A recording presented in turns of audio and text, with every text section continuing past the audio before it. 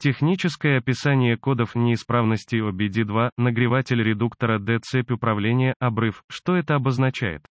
Этот диагностический код неисправности DTS является общим кодом трансмиссии и применяется ко многим дизельным автомобилям OBD2 с 1996 года выпуска. Это может включать в себя, помимо прочего, автомобили Ford, Mercedes-Benz, Sprinter, Audi, Ram, Chevrolet, Dodge, BMW, GMS и так далее, несмотря на то, что общие этапы ремонта могут отличаться в зависимости от года выпуска, марки, модели и конфигурации трансмиссии. Сохраненный код P2 20S5 означает, что модуль управления силовой трансмиссией PSM не обнаружил напряжения в цепи управления бортового нагревателя-восстановителя, обозначенного буквой D. Это обозначение используется, когда используется несколько нагревателей-восстановителей. Обратитесь к конкретному автомобилю, руководство по ремонту, чтобы определить, какая цепь D для вашего приложения. Каталитическая система ответственна за снижение, в основном, всех других выбросов выхлопных газов, хотя некоторые применения также оснащены оснащены ловушкой для NOx,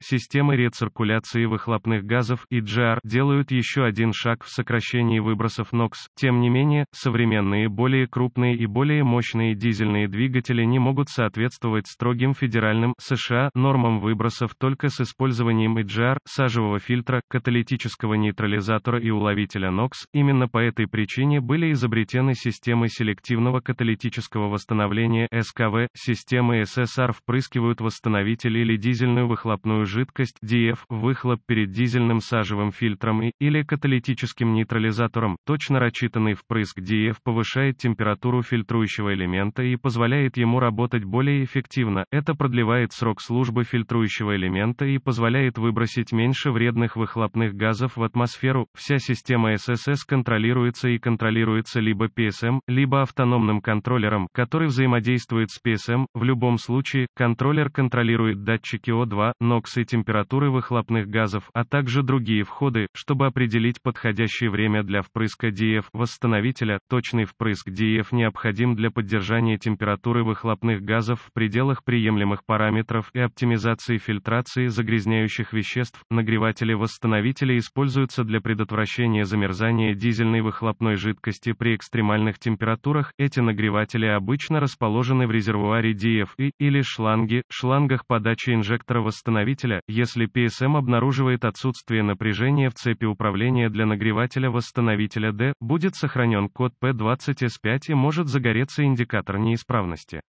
Нагреватели восстановителя могут находиться внутри бака DF. Пример показан здесь, какова серьезность этого кода неисправности.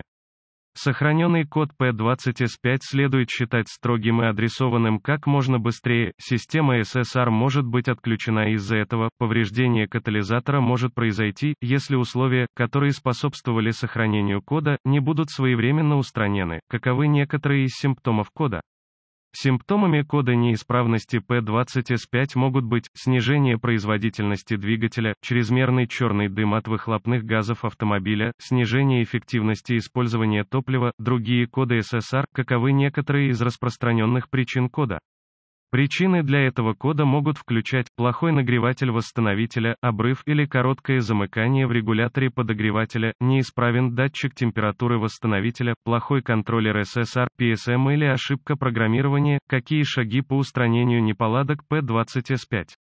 Для диагностики кода P20S5 вам понадобится доступ к диагностическому сканеру, цифровому вольтметру, ометру, DVOM и источнику диагностической информации о транспортном средстве, если вы можете найти технический бюллетень обслуживания TSB, который соответствует году выпуска автомобиля, марки и модели, а также размер двигателя, сохраненный код, с и показанные симптомы могут дать полезную диагностическую информацию. Вам следует начать диагностику с визуального осмотра жгутов и разъемов разъемов системы подогревателя, сгоревшая или поврежденная проводка и, или разъемы должны быть отремонтированы или заменены, прежде чем продолжить, для этого подключите сканер к диагностическому разъему автомобиля и получите все сохраненные коды и соответствующие данные стоп-кадра. Запишите эту информацию перед очисткой кодов и проверяйте управление автомобилем, пока PSM не перейдет в режим готовности или код не будет сброшен, код прерывистый и может быть намного сложнее диагностировать в настоящее время, если PSM входит в режим готовности, в этом случае условия, которые способствовали сохранению кода, могут ухудшиться, прежде чем будет поставлен точный диагноз. Если код будет сброшен, выполните поиск источника информации о транспортном средстве, чтобы получить диагностические блок-схемы, схемы выводов разъемов, виды лицевых разъемов, а также процедуры и спецификации тестирования компонентов. Эта информация потребуется для завершения следующего шага вашего диагноза. Используйте DVOM для проверки питания системы управления SSR, проверяйте плавкие предохранители с загруженной цепью, чтобы избежать ошибочного диагноза.